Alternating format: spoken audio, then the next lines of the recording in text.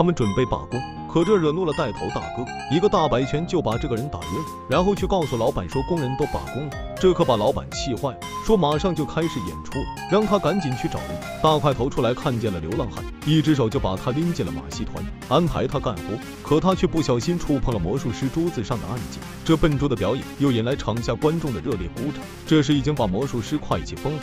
这个人又毁了他的表演，他气愤的去给老板告状，但老板却看到了商机，这个人一定能给我们赚很多很多的钱。第二天，大块头让他给马喂药，告诉他只要往马嘴里一吹，药就进去了。可没想到马先吹了口气，把药吹进了小胡子嘴里。这还不算啥，让小马看见了就追着他跑，没想到他居然跑到了狮子笼里。最倒霉的是他还出不去，还好狮子正在睡觉，没有对他造成危险。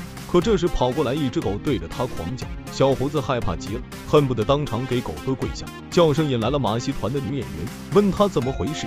他说：“你赶紧去给我开开门。”女演员一看狮子，说了句晚安，躺下就睡着了。这时狮子也睡醒了，小胡子赶快跑到墙角，狮子慢慢凑近他闻了闻，居然又回去睡觉了，甚至看都不想看他。女演员这时也睡醒了，赶快过来给他开了门。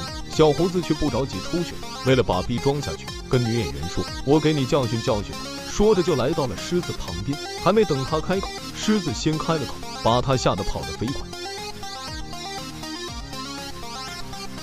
这一天，女演员让朋友给她算一卦，朋友跟她说：“你最近会跟一个皮肤黝黑、英俊潇洒的帅哥有一段姻缘。”女演员听完后满是期待，这一切让小胡子听到了，他照了照镜子，没错，这个人就是我，把他高兴的手舞足蹈。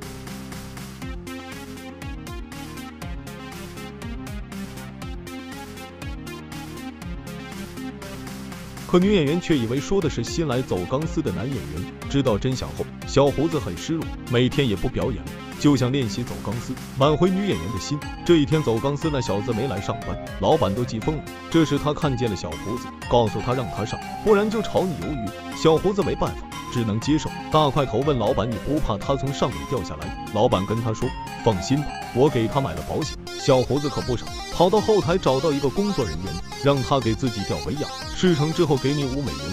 就这样，小胡子上台表演。Thank you.